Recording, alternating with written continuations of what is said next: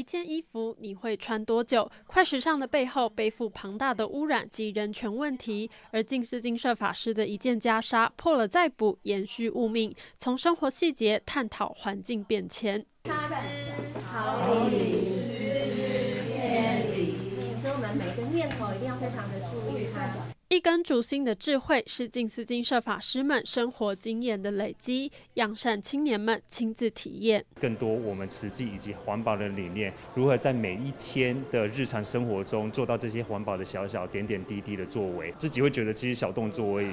不是什么大事情，可是只要很多人来做的时候，它一定可以发挥它的功效在的。金社日常的环保妙招，还有团队合作，以节省水资源的方式整理姜黄，让学员真正学习到环保从细节做起，去体验一花一草所带给你的呃每一个很深刻的意义。那对于这整个环境的呃气温呐，然后呃一些的变化，就会变得比较敏感。那这样子渐渐的你会觉得说，就是其实大自然带给我们很多的智慧。就不会去破坏这个环境。他们也用更贴近青年的创意演绎父母恩重难报经的桥段，认识经典的内涵，身体力行发扬善的力量。扬善青年，